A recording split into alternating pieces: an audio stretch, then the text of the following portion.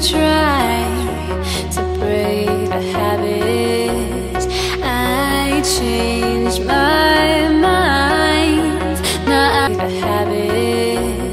I changed my At the 2017 New York Auto Show, Jaguar showed off the new entry-level F-Type, packing a 2.0-liter, turbocharged, gasoline-fueled Line 4 that produces 296 horsepower, which is built in-house in the UK.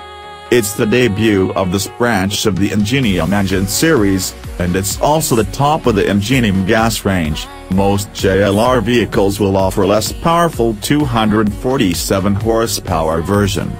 We caught up with Jaguar's engineers to figure out exactly how this high-output Ingenium engine differs, and what Jaguar had to do to fit it in the F-Type's engine bay.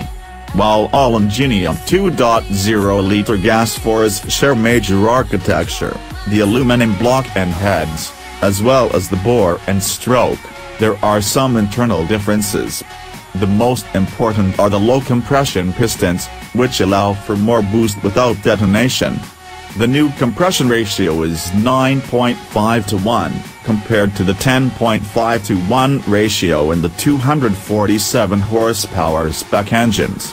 To make the most out of more boost, you need new plumbing and a way to get more fuel into the combustion chamber. So Jaguar fitted a larger twin-scroll turbocharger that's unique to this application. It features low-friction ceramic ball bearings, Jaguar says this improves transient response.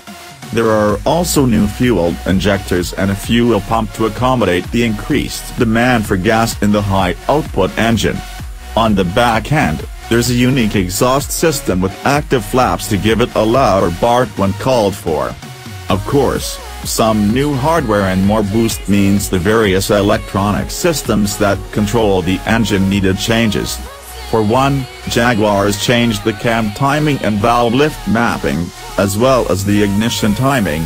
The throttle mapping and transmission calibration have also been optimized for the new engine.